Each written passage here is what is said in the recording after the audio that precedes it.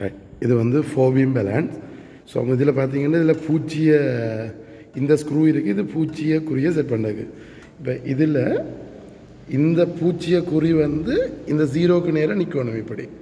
அப்போ அந்த பூச்சியை குறியை செட் பண்ணுறதுக்கு நீங்கள் இந்த ஸ்க்ரூவை யூஸ் பண்ணிக்கொள்வீங்க இந்த ஸ்க்ரூவால் இந்த பூச்சியை குறிக்கு செட் பண்ணிவிட்டு ஸோ அதுக்கு பிறகு இதில் நீங்கள் ஒரு பொருளை வச்சோன்னே இதில் இருக்கிற வெயிட்டை நீங்கள் மூவ் பண்ணீங்கன்னா இதை சொல்கிறது திணிவு ஓடியண்டு.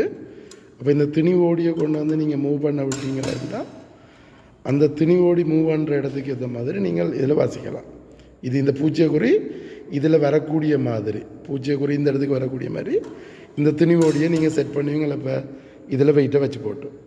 ஸோ இதில் மேக்ஸிமம் பாருங்கள் இதில் டூ ஹண்ட்ரட் கிராம் இருக்குது. இதில் ஹண்ட்ரட் கிராம் இருக்குது. இதில் டென் கிராம் இதில் ஒன் கிராம் அப்போ உங்களுக்கு டோட்டலாக இதில் அளக்கக்கூடியன்னா த்ரீ ஹண்ட்ரட் லெவன் கிராம் வந்து அளக்கலாம்.